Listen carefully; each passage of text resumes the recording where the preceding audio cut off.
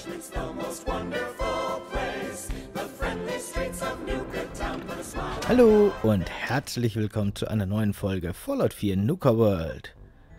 Hm, ich habe ein bisschen Angst, wie Strong mich anguckt. Ich glaube, der will mir fressen. So, bauen wir hier mal ein bisschen weiter. Wir könnten jetzt die Farm von innen ein bisschen dekorieren. Ich glaube, das mache ich auch, weil ich habe ganz ehrlich gesagt noch nicht so hundertprozentig eine Idee, was wir aus dieser Tankstelle hier machen. Ein größer als Strong wisst. Ich würde wirklich fast sagen, dass das Tankstellengebäude selbst so eine Art Werkstatt wird und dass man hier dann irgendwie so die Wohnbereiche baut. Das Gebiet ist ja eigentlich groß genug und hier ist eben die Farm. Hier wird Essen angebaut und dann haben wir hier eine richtig coole Siedlung. Ich mag ja sowas. So schöne Siedlungen bauen. Ich meine, die erfüllen ja im Grunde jetzt nicht wirklich die Mörder äh, in dem Spiel eigentlich, wenn man ehrlich ist. Und man kann im Grunde bauen, was man will und das passt schon. Aber ich tue immer so, als würde alles, was ich baue, wirklich einen Effekt auf meine Siedlung und auf meine Siedler vor allem haben. Dann macht mir mehr Spaß. So, ich würde dir gerne eine Leiter, die sollte aber möglichst, also, weiß ich nicht. Ich glaube, das geht, oder? Ich glaube, so kommt man noch durch die Tür durch ohne Probleme. Die Tür lässt sich auch schließen. Man kann auch rausgehen ohne Probleme. Ja, perfekt. Dann ist das eine gute, eine gute Treppe. So, wollten wir nicht irgendwie Strom hier drin machen? Warum denn nicht? Und da das so eine alte Scheune hier ist, könnte ich mir vorstellen, dass man sogar den Generator hier reinstellt. Das ist vielleicht gar nicht hässlich, oder? Vielleicht sogar absichtlich. Ich meine, ich habe da unten quasi eine endlose Stromquelle. Aber man könnte so einen alten Generator hier irgendwie noch reinstellen. Einfach nur so zum Spaß. Mm, ah, nee. Okay, nee, mache ich nicht. Ich mag lieber eine, eine Hochspannungsmastenreihe hier. Das passt auch ganz gut. Das ist auch ein schönes Landschaftsbild, glaube ich. Also schön, immer ein bisschen relativ in dem Spiel, aber ein, ein, mit Charakter. Das hat Charakter, wenn da überall so Hochspannungsmasten stehen. So, jetzt muss man die nur mal irgendwie finden in diesem in, inzwischen schon recht, äh, äh, ja, großen, breit gefächerten Baumenü. Wobei es mir ja noch natürlich bei weitem noch nicht genug Bauoptionen sind. Ich hätte ja gern noch ungefähr 500 weitere Objekte oder sowas, wenn es geht. Naja. So, vielleicht kriegen wir ja, ich, ich, ich, ich, ich höre schon wieder auf, über Mods zu reden, aber vielleicht kriegen wir ja irgendwann doch noch PS4-Mods, die uns dann noch ein paar schöne Pakete an Bauoptionen bringen. Ich meine, so schnell werden uns die Siedlungen nicht ausgehen, indem wir rumbauen müssen, insofern äh, können, dürfen, sollen. Deswegen äh, mache ich mir da auch keine Sorgen, dass wir irgendwie, dass ich irgendwie Sachen umbauen müsste, weil jetzt irgendwie Mods kommen oder so. Macht mal einfach was Neues neues Mod-Spiel. Also einen neuen Mod-Siedlungsdingens. Falls es denn jemals soweit ist. Also das ist aber alles unklar und Zukunftsmusik und unsicher und deswegen hey, rede ich jetzt gar nicht mehr drüber. So, die meisten Glühbirnen leuchten schon. Ich hänge mal da oben noch eine hin. Und vielleicht auch wirklich unters Dach. Ist, glaube ich, auch keine blöde Idee. Habe ich hier schon welche hingehangen? Müsste ich doch fast. Da oben immerhin eine. Da ist auch eine. Nö, dann. Dann ist ja alles okay. So, jetzt kommt wieder der schwierige Teil, der knifflige Teil. Und zwar Strom hier reinkriegen. Ich kannte mal einen schönen Glitch, mit dem kann man Strom äh, überall hinbringen, wo man will. Ich weiß aber ehrlich gesagt nicht mehr hundertprozentig, wie der funktioniert. Mm, ich muss mal äh, rumexperimentieren. Jetzt passt auf, wie war das gleich nochmal? Ich glaube, ich brauche einen Tisch oder irgendwie sowas. Ich versuche das jetzt einfach. Wenn es nicht funktioniert, funktioniert es halt nicht. Ist mir doch wurscht.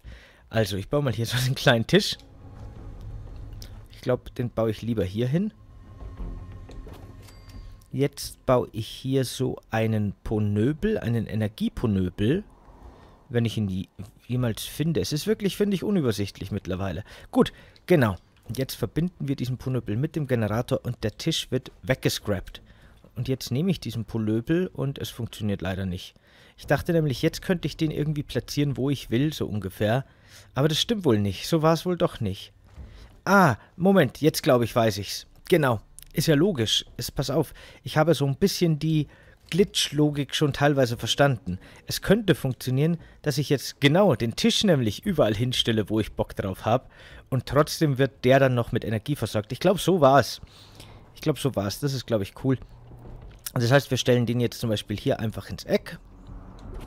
Und dann scrappe ich den Tisch weg. Und jetzt haben wir hier ein Dingensbumsens.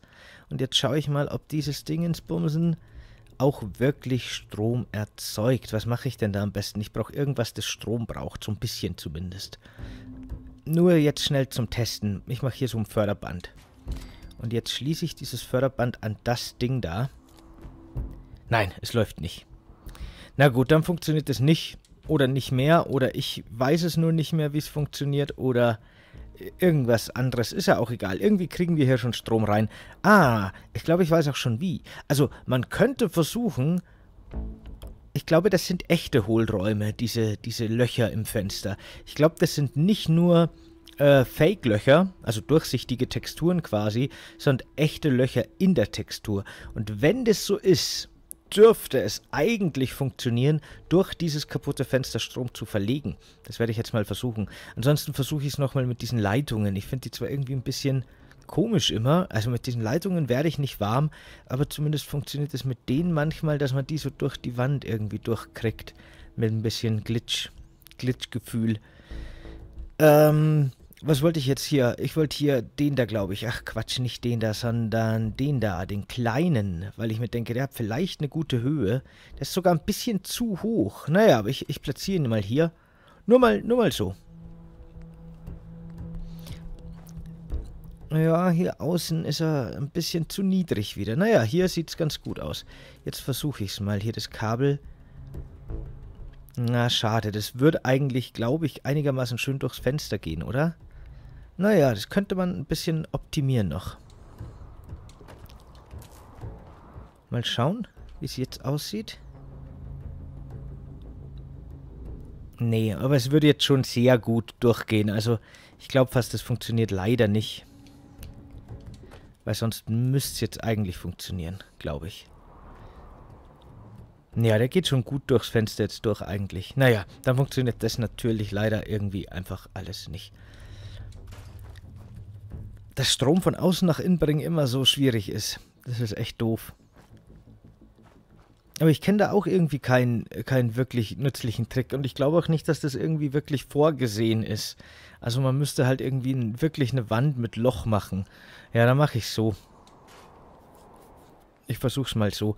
Dann mache ich hier so ein kaputtes Scheunenteil. Die finde ich zwar ein bisschen hässlich, aber dann funktioniert es vielleicht wenigstens. Das dürfte ja schon reichen. Ich meine, ich könnte auf Nummer sicher gehen und das hier nehmen, aber das finde ich ein bisschen sehr krass. Ich versuche es jetzt einfach mal so, ähm, dass wir hier ein bisschen Energie reinkriegen. Wenn dann das Kabel mal hier drin ist, ist alles kein Problem mehr, aber das reinzukriegen ist immer ein bisschen doof. Okay, ich baue mal hier einen hin. Ah, das wäre natürlich optimal. Vielleicht kriegen wir das sogar wirklich hin. Vielleicht brauchen wir den da oben nämlich zum Beispiel gar nicht. Dann verbinden das hier direkt miteinander. Beziehungsweise kann ich ja den da oben ruhig irgendwie hier oben hinhängen. Dann haben wir da oben auch schon Strom. Und über das Loch kriegen wir jetzt normalerweise absolut problemlos Strom auch wirklich hier in unsere schöne Scheune. Unsere schöne Scheune. Vielleicht mache ich diese ja an der Wand entlang. Das ist, glaube ich, das, das, das Beste. Erstmal. Wobei wir dann vielleicht mit der Treppe hier Schwierigkeiten kriegen. Hm, müssen wir vielleicht doch nochmal über die Decke ausweichen hier rüber. Wie machen wir dann weiter? Das ist jetzt die Frage. Hm, hm, hm, hm, hm. Hm, hm, hm, hm, hm.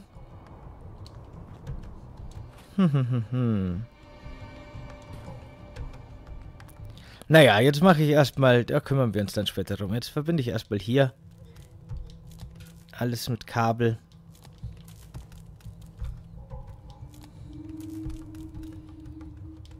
So. Das ist schon mal gut. Jetzt müssen wir das halt wirklich eine Etage höher kriegen. Ähm... Ja, ja, ja, ich habe es gerade gesehen. Der war gerade kurz... Genau, genau, genau, genau. Das könnte nämlich hinhauen. Perfekt. Und jetzt können wir hier wahrscheinlich einfach einen an die Decke hängen und dann ist schon mal ein großes Stück geschafft. Na, jetzt nicht springen. Kabel verlegen. Warum geht hier jetzt kein Kabel? Willst du mich verarschen? Was soll das? Na gut, na gut, na gut, na gut, dann ist schon okay. Das geht, glaube ich, durchs Geländer durch. Dann machen wir das hier hin. Ist schon okay. Äh, nein. Kabel verlegen, genau. Okay. Gut, gut, gut, gut. Läuft ganz gut. So, dann mache ich jetzt hier noch einen hin. Und ich versuche wieder da einen hinzumachen. Auch so ums Eck bauen. Strom ums Eck zu verlegen. Also so Stromkabel ums Eck bauen ist auch immer echt knifflig. Aber das könnte sich ausgehen. Perfekt. Ich schiebe den mal vielleicht, wenn ich darf, noch ein bisschen hier rüber, dass das Kabel einfach gerade nach oben geht. Einigermaßen gerade zumindest. Finde ich, find ich schöner. Na, jetzt ist es fast ein bisschen zu weit. Ja, okay.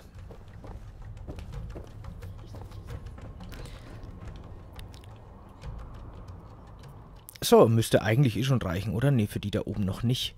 Na gut, dann hänge ich hier noch was an die Decke.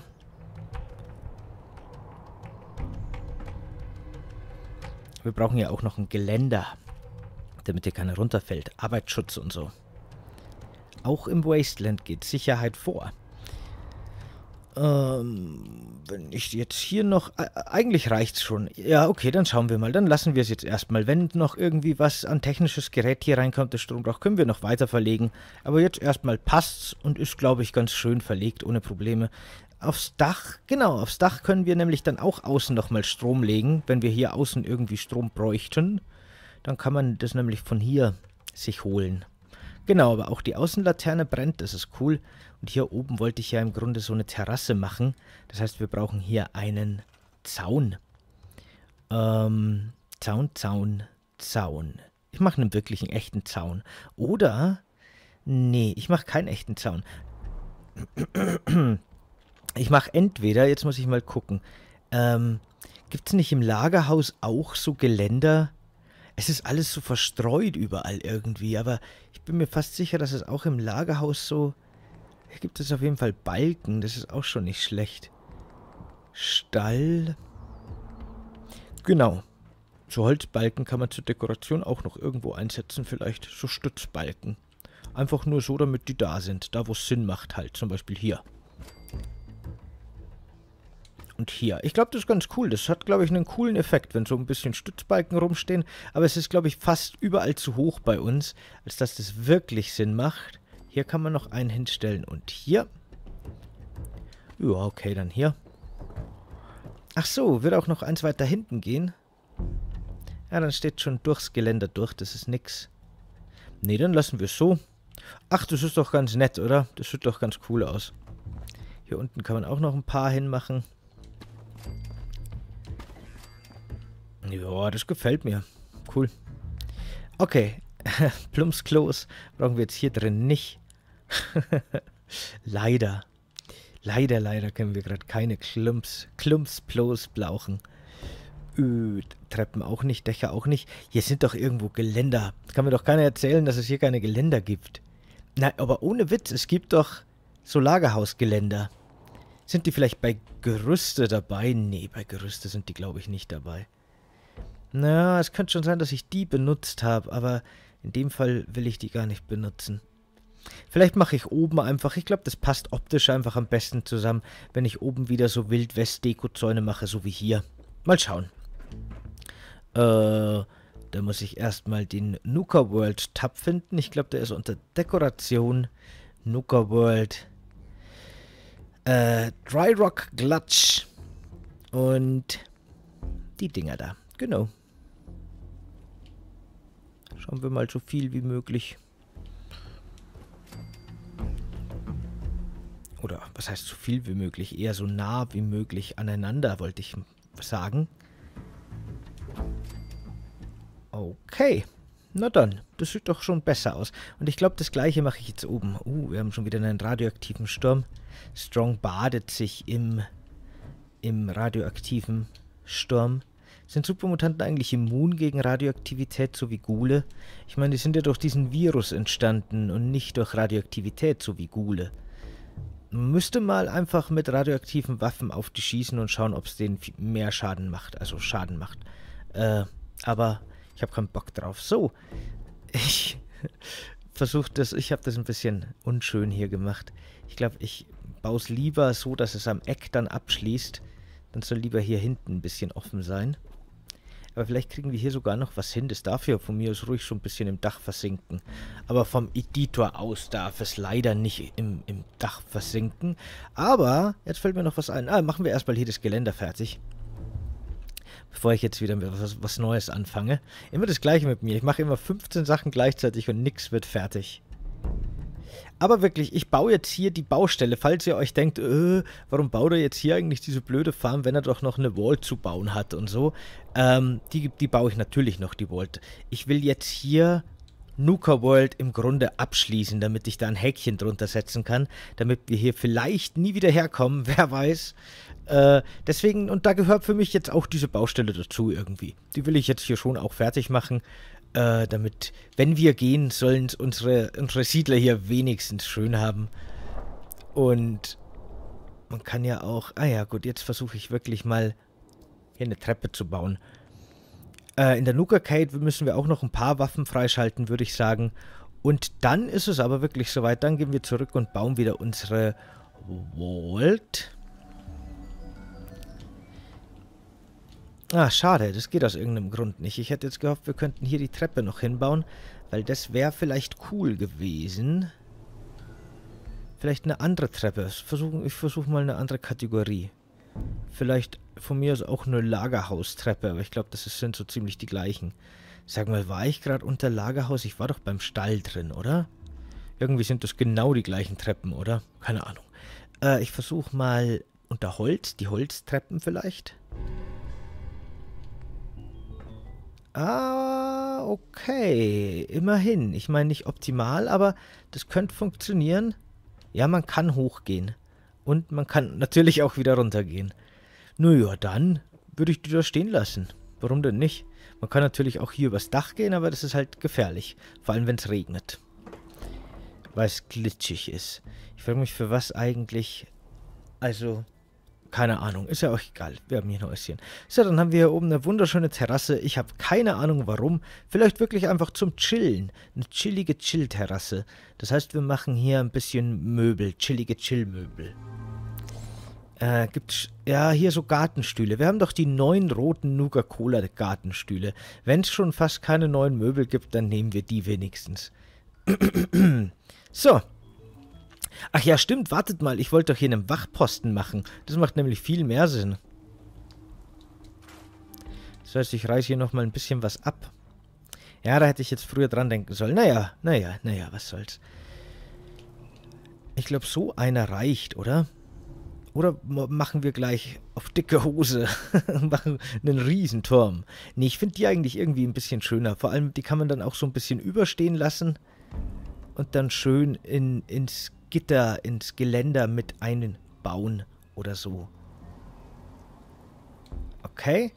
Und hier in die Richtung bauen wir sowas auch nochmal. Schade, auch das lässt sich nicht gut aufs Dach bauen. Sonst hätten wir aufs Dach noch mehrere von denen bauen können. Das hätte mir, glaube ich, ganz gut gefallen. Ist aber leider nicht drin.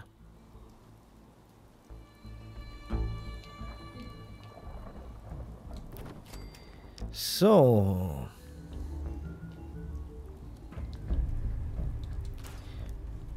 Hm, könnte man auch machen. Sowas hier. Aber mache ich nicht. Nee, ich mache ja wieder... Ich gehe wieder zu den Wildwest-Dekorations-Snookerworld-Objekten. Und dann bauen wir den hier nochmal auf den Zaun. Achso, hier muss jetzt keiner hin. Aber hier könnten wir, wenn wir hier zwei irgendwie unterbringen könnten... Oh, die darf ich sogar ziemlich weit da rein versenken.